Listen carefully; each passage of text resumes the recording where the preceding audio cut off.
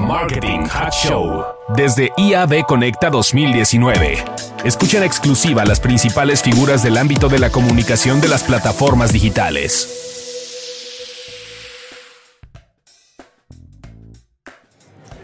Hola a todos y bienvenidos a un nuevo episodio de Marketing Hack Show. Estamos desde IAB Conecta y estoy con Celia Herrera, Managing Director de México de la agencia de iCrossing. Celia, ¿cómo estás? Bienvenida. Hola, muy bien. Qué bueno que estás aquí. La verdad es que Celia trae un tema bastante interesante para este episodio. Su conferencia se llama, y está larguita, pero vale la pena, Armageddon o Evolución, ganando la batalla por la mente y corazones de los consumidores. Y vamos a empezar por por qué decidiste ponerle así a la conferencia.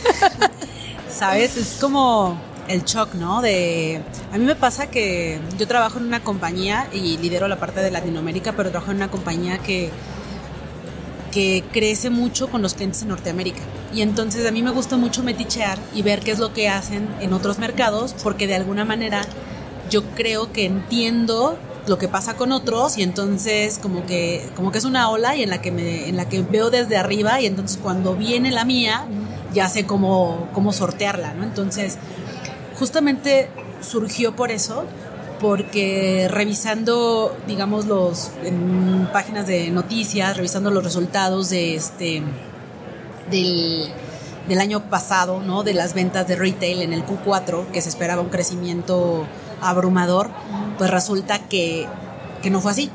No solamente no se llegaron a las metas y no solamente no creció, sino decreció por primera vez en años. Y entonces, como marquetero, yo pensando que es que eso pasa antes de lo que me va a pasar a mí, fue como impactante decir, wow, espera, espera, espérate, ¿qué pasa? ¿no? Es como la batalla final, cómo la, cómo la, cómo la sorteamos. Claro. ¿Y, ¿Y cómo me preparo yo como empresa? Entonces, algo muy interesante que traes en este concepto, traes este concepto de que las marcas tienen en común las que están creciendo, ¿no?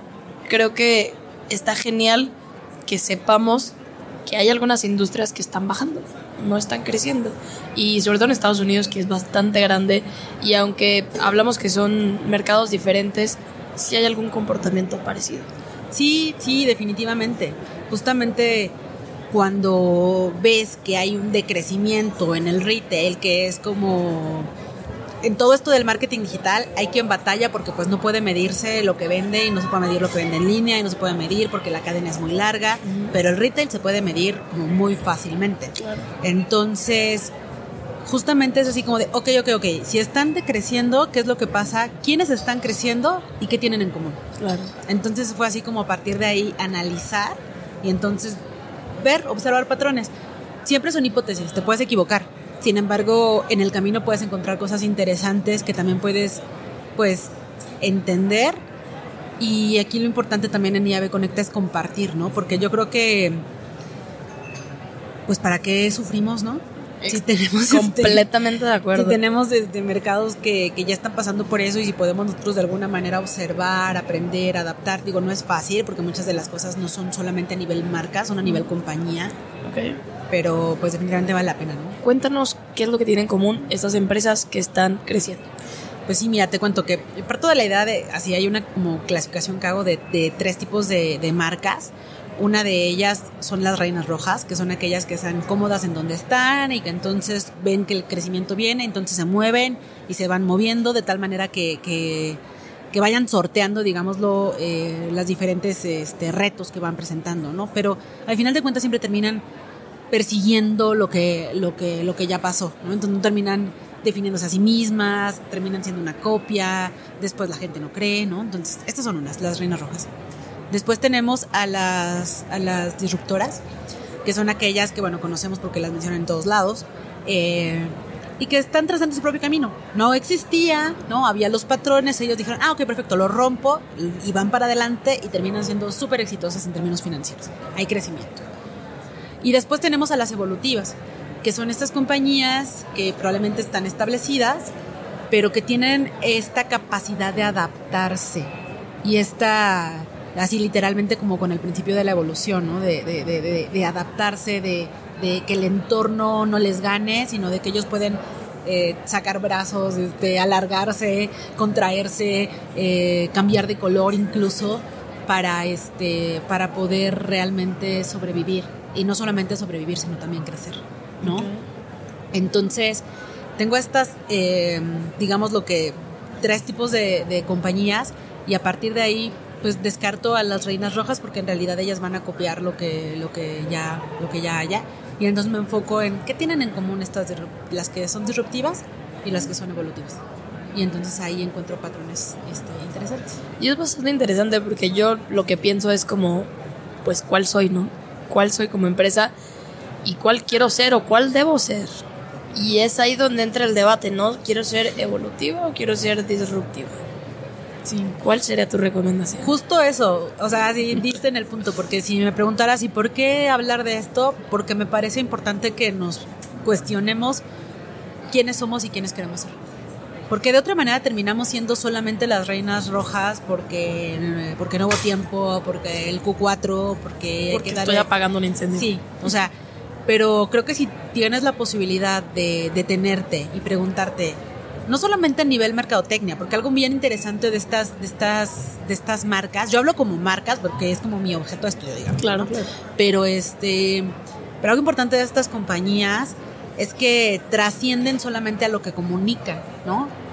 Por ejemplo, uno de los factores en común que identifico tiene que ver con que más allá de que haya un manifiesto en la página web, tienen un manifiesto y este lo cumplen cabalmente en todo lo que hacen, ¿no? Y entonces lo cumplen desde la cuestión del, de, cómo conforman sus equipos de trabajo, lo, lo este, son consistentes en términos del cómo es su relación con sus clientes, este, claramente está también en la página web, ¿no? Eh, pero trasciende, ¿no? O sea, por ejemplo, dentro de las marcas evolutivas que pongo en esta en este análisis es T-Mobile, y ellos, por ejemplo, su manifiesto es que no son un carrier de telefonía más. Y eso es lo que dicen, yo no soy uno más. Este, eh, no me interesan las letras chiquitas, no me interesa este pues esta dinámica del amarro a mi cliente y como que ya lo tengo amarrado y se está conmigo porque va a ser una cuestión complicada. Este, y una vez que tengo un contrato, pues me olvido de él para siempre hasta que le vuelvo a llamar para, para la renovación. Eh, no, o sea, en realidad ellos dicen, yo voy a ser distinto, yo no soy uno más, y entonces actúan como tal, y entonces tienen acciones como que ellos mismos te, te, te tramitan el desafanarte, digamos, lo de tu compañía anterior, si tienes un contrato vigente con la compañía anterior, ellos te pagan la diferencia con tal de que te, te vayas con ellos. Eh, entendieron que la movilidad es importante para sus, para sus audiencias, entonces te ofrecen este wifi, eh, perdón, eh, internet inalámbrico, por ejemplo en los, en los, en, los, aviones, o sea, si eres su cliente, en el avión lo vas a encontrar, no hay roaming, este videos, streaming, streaming este, incluido ilimitado. entonces, vaya, o sea, no es como que solamente te lo dijeron, o sea, como que te lo dicen en, el, en, la comunicación, pero cuando ves tu estado de cuenta, este, ya te metieron el gol, ¿no? Sino que en realidad son consistentes. Y eso hace, pues, que, que, se, que se abra el mercado y que crezcan.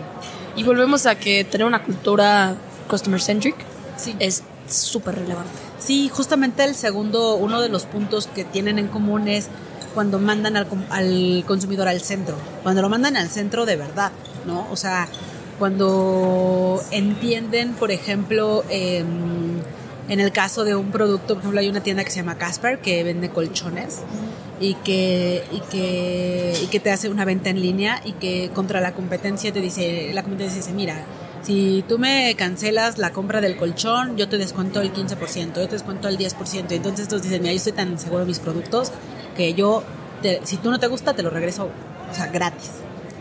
¿Vale? Pero este, pero insisto, no es algo que dicen en la publicidad, sino que en realidad lo cumplen. Entonces eso hace que sean consistentes y tienen al consumidor en el centro.